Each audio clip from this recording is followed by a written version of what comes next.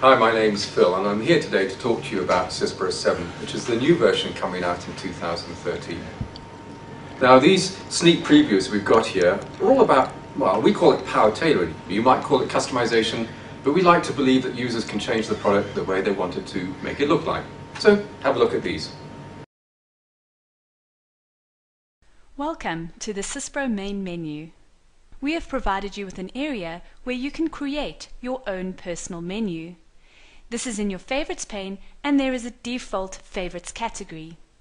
To create your own menu, select Program List, select the program that you would like to add and simply drag and drop it onto your Favorites menu.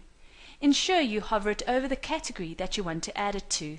I'm going to select another program to add and you can see when a line appears you are ready to drop it into the required category. To add a category, right-click in your Favorites area, select New and Category. Enter the name of the category, and you can drag and drop programs into your new category. If you have added a program that you actually do not require, simply right-click on the tile and select Delete.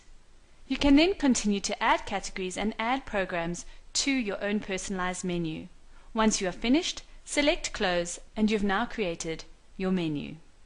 Once you have added the required programs to your own menu, you can then select to customize the tiles.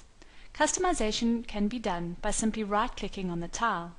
You can see there are a number of different functions that can be accessed using the context-sensitive menu. As a quick demonstration, you can change the properties as well as the appearance. So for example, I can select I can select to change my icon for my AP invoice posting and I can select to change the color.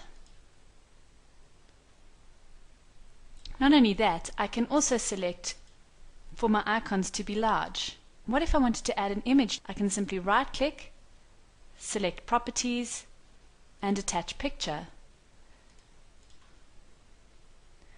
When I added the picture you can see that it doesn't seem to fit properly. Right click, select properties and auto fit and that will move my category so that it displays my tiles correctly and that's a quick demonstration on how you can customize your menu.